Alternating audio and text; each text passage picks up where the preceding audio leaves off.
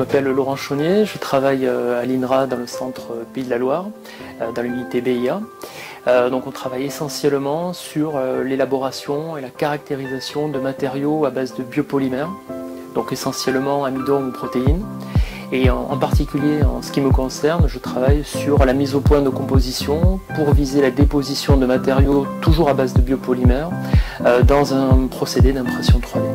L'enjeu de ces recherches est de mettre au point euh, des matériaux à base de biopolymères qui sont imprimables 3D et qui soient aussi euh, comestibles et résorbables pour pouvoir cibler des applications dans le domaine pharmaceutique ou biomédical par exemple afin de contrôler la libération d'un principe actif.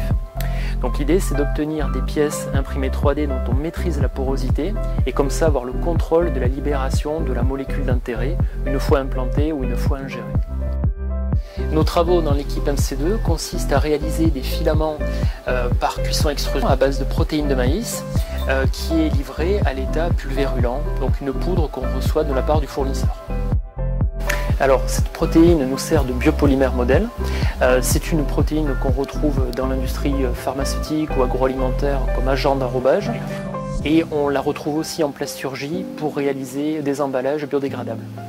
Alors notre démarche est composée de plusieurs étapes. Tout d'abord l'étude de la thermoplastification de la protéine modèle pour essayer de voir les compositions qui sont euh, filables à chaud par extrusion ou non.